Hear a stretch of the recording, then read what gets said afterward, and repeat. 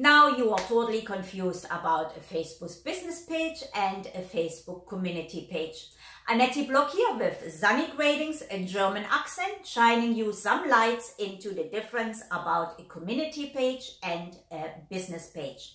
So when we are seeing uh, pages as an unbranded and a branding page, we look at the approach different.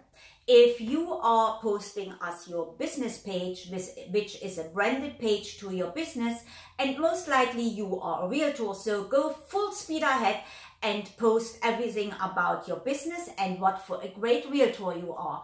But when you are posting as a community page, you only should post about the community, what your uh, followers should know about the community, the happenings and the events. So you educate them about your community.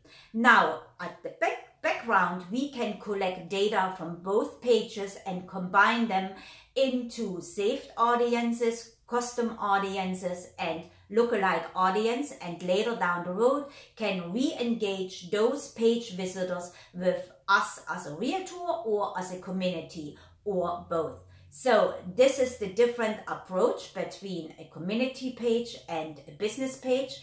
I hope it helped you to understand how to approach your pages and watch out for more videos down the road.